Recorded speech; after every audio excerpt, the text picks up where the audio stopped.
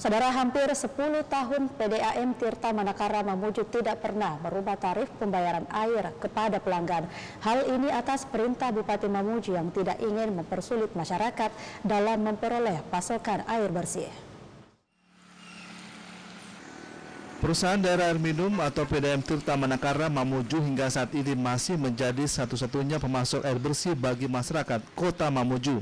Untuk pemerataan pasokan air bersih kepada masyarakat, PDM Tirta Manakara terus melakukan perluasan pelayanan hingga menjangkau penduduk di Pulau Karampuang dan wilayah kecamatan sekitar kota Mamuju seperti Kecamatan Kaluku dan Papalang.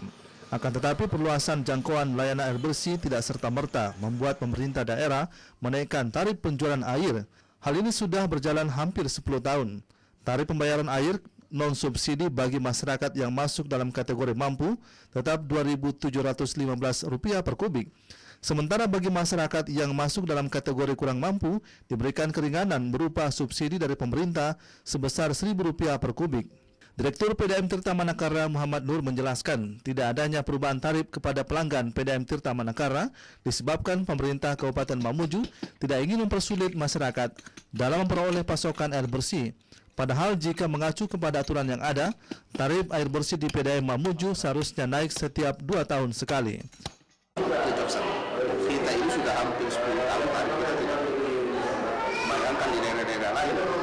Aturan itu, PP katakan bahwa setiap dua tahun sekali dilakukan penyesuaian kembali peraturan tarif. Ketika saya tidak tetap. Dua